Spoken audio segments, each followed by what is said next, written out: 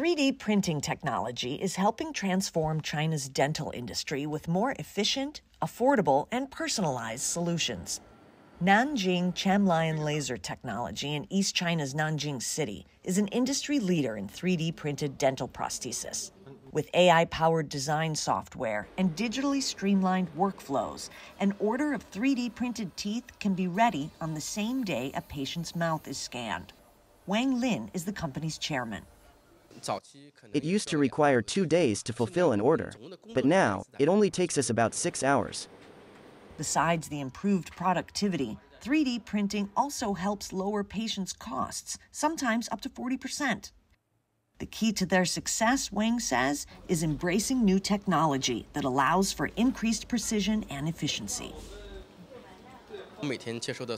Every day, we receive tens of thousands of datasets on fixed dentures and around 10,000 datasets on removable ones.